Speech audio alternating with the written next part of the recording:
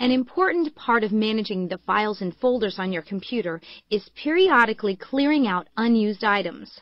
Although you aren't required to delete any unused files, folders, or drives, doing so can free up disk space and help your computer run faster and more efficiently. You notice there are a couple of items that you no longer need on your computer. You decide to delete them. There is a shortcut on our desktop that we no longer need, so let's delete it by sending it to the recycle bin.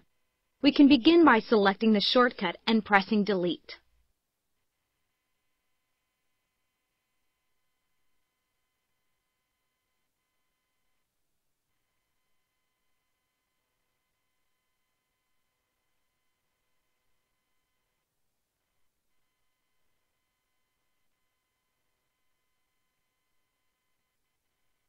It's very easy to delete a file by mistake, so when we use the keyboard to delete a file, Windows asks us to verify that we intended to do so. Let's tell Windows to go ahead and finish deleting the file. Notice that the recycle bin icon's appearance changed from empty to full when we deleted the file. Now let's try deleting a few files at once.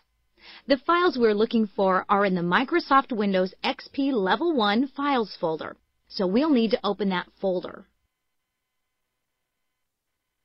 Now we can select the three files we want to delete. We'll do this by selecting the first file in the series, then control-clicking the other two files.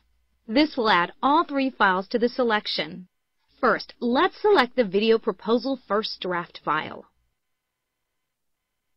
Now we can add the Video Proposal Second Draft and Video Proposal Third Draft files to the selection.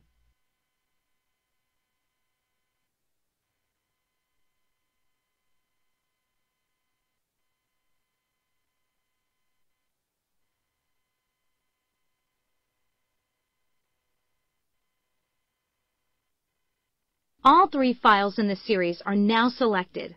We'll use the keyboard to delete them, and then we'll confirm the deletion.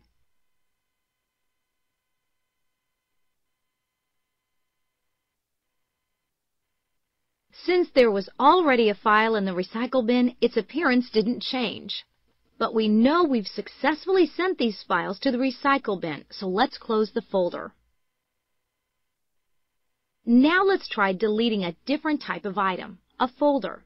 We no longer need the Video Proposal Files folder, which is located on the desktop, so let's move it to the Recycle bin.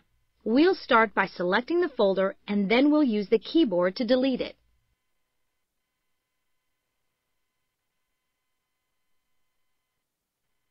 Once again, we need to confirm that we do want to delete the folder. Because Windows is designed to protect the important data on your computer, Certain safety measures help prevent you from unintentionally deleting files or folders.